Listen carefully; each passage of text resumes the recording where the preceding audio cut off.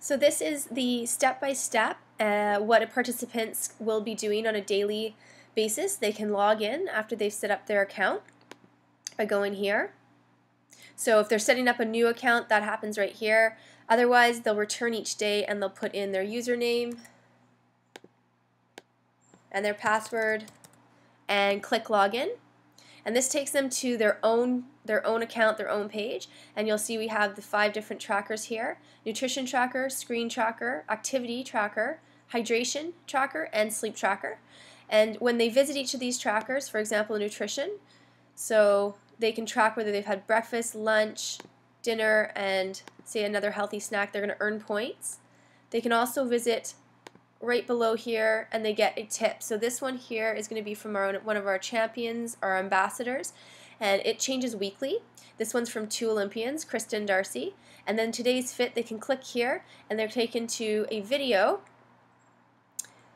where they get a different fit tip each day. So they can go then to each of their trackers one at a time, screen time, did they power down? They also get points for doing extra reading down here. Activity, so they're all going to start accomplish their 30 minutes or they've accomplished their 60 minutes.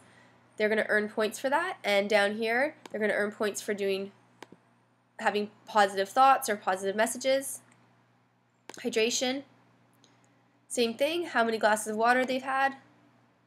And for their sleep, trying to accomplish their goal of eight or more hours of sleep each night. After that, they can look at their score. So this is their score in their district, how they're doing. So in this case, these, this is a mock school, so it's only with a few others. They can see how they're doing overall in their own province, and they can see how they're doing in their country.